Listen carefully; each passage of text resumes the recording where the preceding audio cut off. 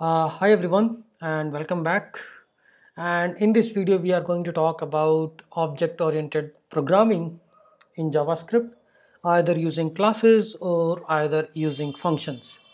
So in ES5 I will talk about ES5 first in ES5 how we were writing functions.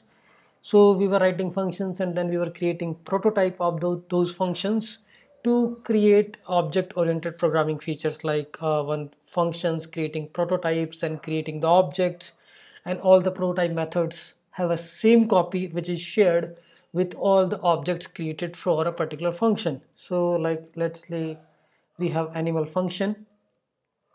Okay it has name and energy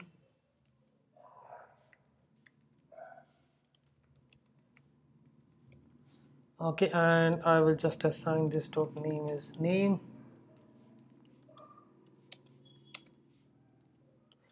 This is a simple function. Now in these functions if I create a prototype properties then what what first of all what are the prototype properties and why we need them? So these all prototype properties I'm creating. So prototypes are those properties which are getting added to the function. And if you are not adding these as a prototype properties then every object will have a separate copy of these functions right? Now if you are adding them to the prototype and you create a hundred objects of this animal functions all those objects will have a same copy of a prototype properties like eat sleep and play. This is how we are extending a particular functions by adding the prototype properties. So you can access animal.eat animal.sleep animal.play every function as a prototype and you can add a variable or a function to it. Here we have added a function. And how we will create an object of this prototype uh, of this function using constructor function using new keyword new animal and you pass the the name and the energy right? Same thing if we talk about in es6 where we have a classes i mean classes are nothing but a syntactic sugar of uh, the functions only. But if i just write classes instead of this particular function then how it will get converted? I'll just copy this. So we have a constructor. These are the two properties which every object will have name and energy.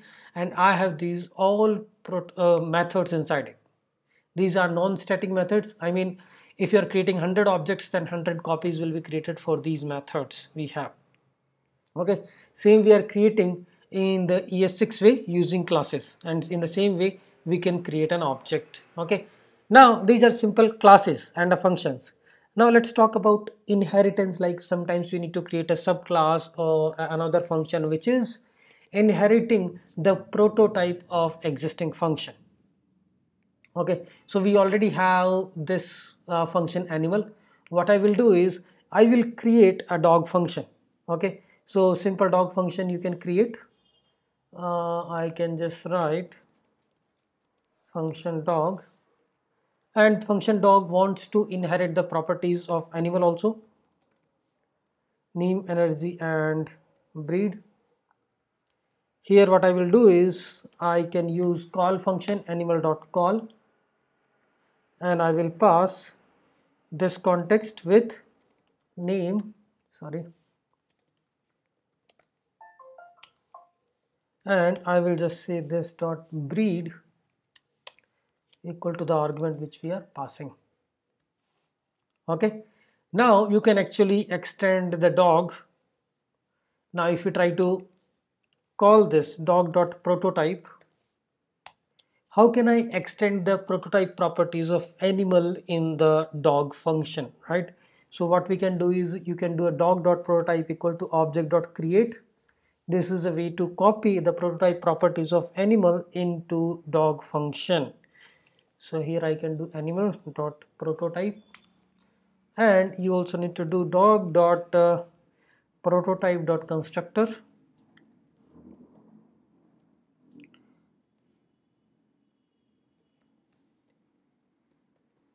Constructor equal to dog. Okay. Now you can actually create an object of a dog.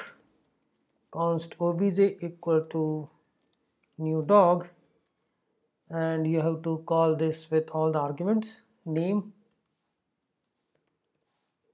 energy and breed is something test1 now you can actually call the methods dog dot uh, so here you get the access to all these methods eat sleep play. Object dot eat object dot sleep eat, play. Because we are now extending the animal prototype. So we got the access to all the methods which we have in the animal prototype. And you can also create your own prototype methods for the dog like dog dot prototype so you can also call object dot bark for the dog right? So what we did is we just uh, try to use the same concept with the functions like creating uh, another functions trying to extend the prototype properties of existing function and creating the objects and calling it now same concept if we try to do with the ES6 then what will happen we have a class so what we will do is we will create a class dog which will extend animal and we can use super keyword to call the parent class constructor. So same thing what we are doing with the call here in the dog function animal.call. Same thing we are doing with the super keyword in the classes super name and energy. Breed is the property of the dog class and we added a new method bark. But when you create an object of dog it can actually it can still call eat sleep play methods because dog class is extending animal right? So this is how it works. If you have a constructor in the subclass you must have a constructor method in the parent class also. Okay important thing is we are calling this super keyword. We call super inside a subclass constructor method in order to call parent constructor. And that's pretty much what super is in javascript a reference to the parent prototype. Okay? Super method is mandatory to call if we have declared a custom constructor for child class else it's not required. Here we have created a custom constructor because we have introduced a new property so we have to call the parent class constructor using super. Super is used to call the parent class method inside the child class also. If you want to call a particular method then super can be used to call a constructor or a particular method also. Okay we can create an object of a dog class and can call these methods. Okay this is how inheritance works uh, with the classes in javascript. Okay uh, thanks everyone. We'll talk more about object oriented programming classes versus classes versus prototypes in javascript